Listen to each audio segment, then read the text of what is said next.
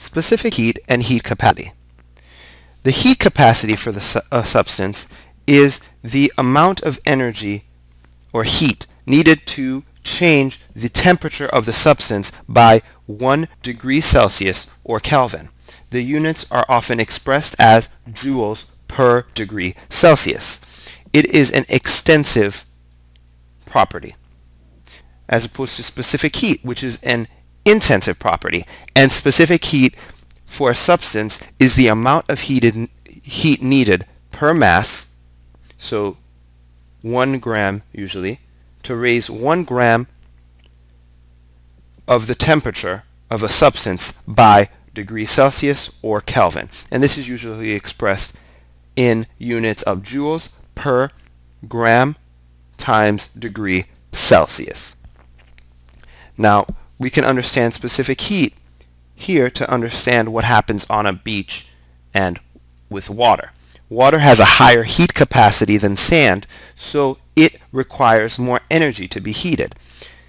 So this is why the ocean is always cooler here. This ocean is always cooler than the sand on the beach because the sand can actually take more energy, take is it requires a certain amount of heat. It that heat that's coming from the sun is actually going to affect it more than the water. Now, this is very important for calorimetry, which is the measure, which is the measurement of heat changes.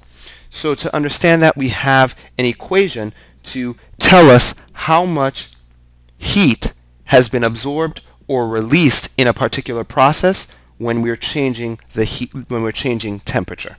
So Q equals M, which is the mass, C, usually denoted as C or sometimes as S for specific heat, times the change in temperature, times the change in temperature, is going to give us, for this is either in degrees Celsius or Kelvin here, so the change in temperature times the specific heat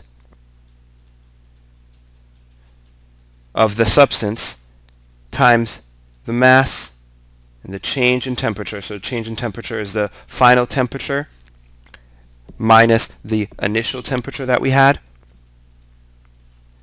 And when you multiply them together, that gives you the amount of heat of heat absorbed or released. So if this is, if Q is negative, then it's an exothermic process, so it's losing energy, it's re releasing energy. If Q is positive, then it is absorbing energy and it's an endothermic process, an endothermic process. So that means absorbing energy and exothermy means releasing energy. So we can use the specific heat of substances to tell us this Q value, which is the amount of heat absorbed or released by the substance when it's changing temperature.